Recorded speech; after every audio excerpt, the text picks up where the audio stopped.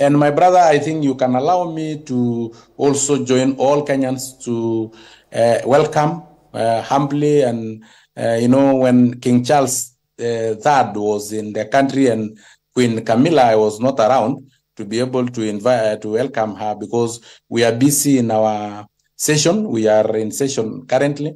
But allow me to welcome them with warm heart, with the traditional songs of of uh, Africans and also to tell them uh, karibu sana the East African uh, Community Economic Bloc. But as you come, you know, you remind us uh, some memories that we will have wished to forget.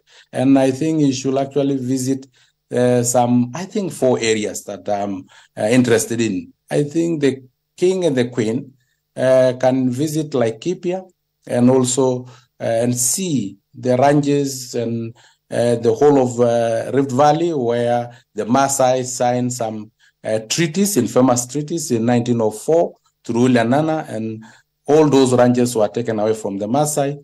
And also for him to know that the ranches did not return back to the Maasai, some black colonizers purported to have bought from the white land grabbers. Again, they can visit uh, Nandi, and possibly that one will bring back the skull of Koitalel Arap Samoei visit uh, Kericho Highland and see the tea estates that are still uh, owned by uh, the Britons, like Finlay, which is owned by somebody from Scotland, you know. And if it's possible, uh, we can get true independence. You know, there are places that you can actually, and even visit in Nairobi and see the statue of Dedan Kimathi, and well, probably you can shed light on where the grave of Dedan Kimathi is. Well, that's Honorable Sankok joining us live from Arusha.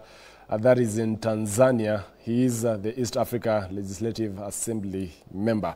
Back to in studio, Honorable Miriam Kita.